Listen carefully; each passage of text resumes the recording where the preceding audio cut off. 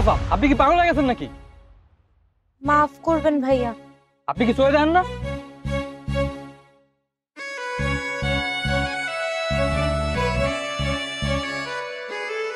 আপনার লগে কি কেউ নাইগা না ভাইয়া আমি একা। ও আপনারে দেখে তো মনে হইতেছে রাস্তা পার হইবেন মনে হয়। জি ভাইয়া। আচ্ছা লন আমি আপনার পার করে দিই। সাবধানে।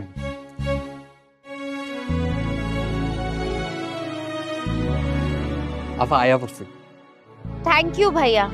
ব্যাপার না। আপনি যাবেন কই? আমি ওই যে সোজা যে ডানের গলিটাতে যাব যেতে পারব। আপনি আসলে যেতে পারবেন তো আপা নাহলে আমি আপনার আগাই দিই সমস্যা নাই। আরে ভাইয়া যেতে পারব না কেন? প্রতিদিন তো একা একাই যাতায়াত করি। তবে হ্যাঁ রাস্তাটা না একা পার হতে পারি না। কিন্তু প্রতিদিনই আপনার মতো কেউ না কেউ আসে আমাকে হেল্প করার জন্য। আসলে আপনাদের মতো মানুষকে তো আর দেখার সৌভাগ্য নেই। তবে অনুভব করতে পারি। আপনাদের মতো মানুষের জন্যই হয়তো বা এখনও পর্যন্ত আমাদের মতো অন্ধরা স্বস্তির নিঃশ্বাস ফেলে রাস্তা পার হতে পারে। আপনাকে অনেক ধন্যবাদ ভাইয়া। আপনার কাছে আমি কৃতজ্ঞ থাকব। আমি তাহলে যাই হ্যাঁ?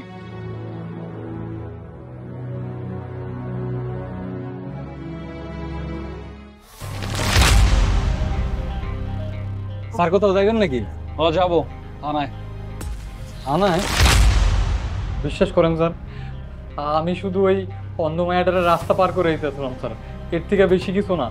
কিন্তু তোর অটো তো নো পার্কিং এ ছিল তাই না? শুন পুলিশ অন্যায় দেখে অন্যায়ের পিছে ঘটে যাওয়া কাহিনী। তো তিন হাজার টাকা হয়েছে। তিন হাজার টাকা চালান ভরে এখান থেকে যা। তিন হাজার টাকা? স্যার আমার কাছে তো এত টাকা নাই।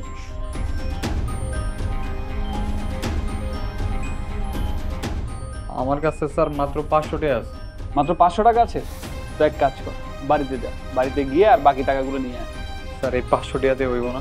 শুন তো সরকারি চালান হয়েছে। ঠিকঠাকভাবে চালান যদি না দিতে পারিস তাহলে তোর অটো গায়েব হয়ে যাবে। বুঝতে পেরেছিস?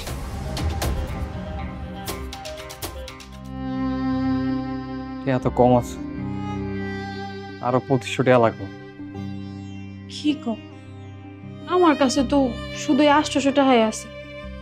একটা কাম করলে কেমন হয়?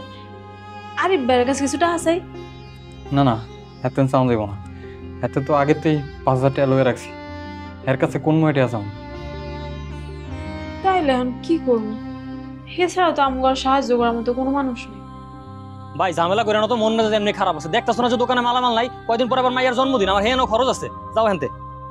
এই এই খুব উপকার করেন যে আপনার সতেরোশো টাকার কথা। কিন্তু খুব ভালো মতোই জানেন ভাই আমার রিক্সাটা দিয়ে আমি আমার সংসার চালাই। কোনো কারণে যদি রিক্সাটা চলে যাবে আমার পরিবার নিয়ে ভাই আমার রাস্তা নামতো। কিন্তু বিশ্বাস করেন।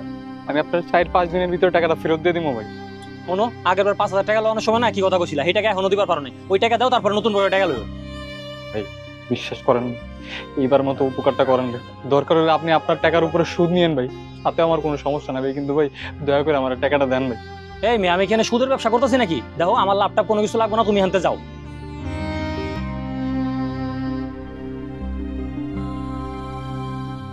বলতো আমাকে হয়েছিল একটা মানুষের কাছ থেকে টাকা ধার নিয়ে আইছি।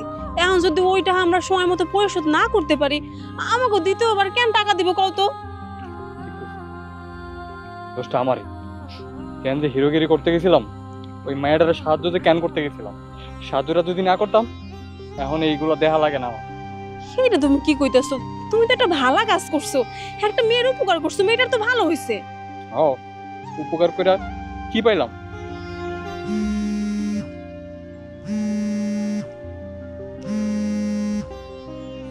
হ্যালো হ্যালো আমি থানা থেকে বলছি। আপনি আপনার অটোটা একটু নিয়ে যাবেন কাইন্ডলি আচ্ছা স্যার আচ্ছা স্যার আইতাছি। হেই কেডা ফোন করছে? থানা থেকে ওই পুলিশ স্যারটা ফোন দিছে। অটো লয়ে যান লাগে কইতেছে। তো স্যার আমারে ফোন দিয়া থানাতে কইছে আমার রিক্সাটা লয়ে যাওয়ার লেগে। হ্যাঁ আমি তোমাকে ফোন করেছি। কিন্তু স্যার আমি তো এখনও পুরা টাকাটা জোগাড় করতে পারি নাই স্যার। তোমার চালান আমি মাফ করে দিয়েছি। হ্যাঁ?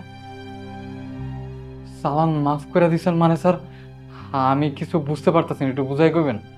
আসলে তুমি সেদিন চলে যাওয়ার পর আমি রাস্তার সিসিটিভি ফুটেজটা চেক করে দেখলাম। সেখানে দেখলাম যে তুমি সত্যি কথাই বলছিলে। আমি শুধু শুধু তোমাকে কেন শাস্তি দিতে যাব? কিন্তু স্যার আপনারা ওই দিন কইলেন যে আইন অপরাধ দেয় অপরাধের পিছনে কোনো কারণ দেয় না। তাহলে স্যার এখন এই কথা কইতেছেন। হ্যাঁ একদম সত্যি কথাই বলেছিলাম। কিন্তু আমি আইন নয় মানে ঠিক বুঝতে পারলাম না স্যার। মানে হচ্ছে তোমার চালানটা আমি মাফ করে দিয়েছি। তো আইন তো মাফ করিনি। যদি আমি তোমার চালানটা মাফ করে দিয়েছি তাহলে তোমার চালানের টাকা তো আমাকেই দিতে হবে তাই না? তার মানে স্যার আমার আর জরিমানা দিতে হইব না। আপনি এটা কেন করতেছেন স্যার? বললাম তো তোমাকে যে তোমার ভালো কাজ করার ফলস্বরূপ তোমাকে সাজা কেন পেতে হবে? আমি যদি তোমাকে সাজা দিতে যাই তাহলে তুমি নিজে নিজে মনে করবে যে কেন আমি হিরোগিরি করতে গেলাম। শুনো হিরোগিরি করা দরকার। তোমাদের মতো হিরোদেরই প্রয়োজন আমাদের সমাজে। স্যার আপনার স্যার অনেক অনেক ধন্যবাদ স্যার।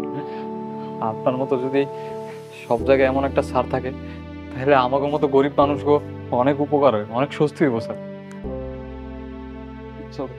আচ্ছা শোনো বাইরে দারোয়ান আছে। তার কাছে তোমার অটোর চাবি আছে।